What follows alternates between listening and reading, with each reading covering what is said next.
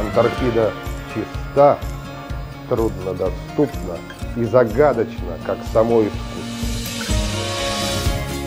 It's important to think of Antarctica in, in, sort of three different ways. One is it's a, an absolutely beautiful, surreal landscape. Number two is that it's an inspiring place for any creative thinker, any philosopher, any poet, any musician, any artist. But the other thing is that it's sort of the, the last stop.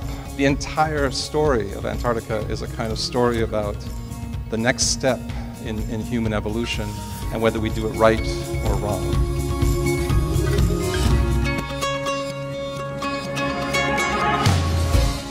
This is a totally utopic project which is taking sh shape with a lot of enthusiasm.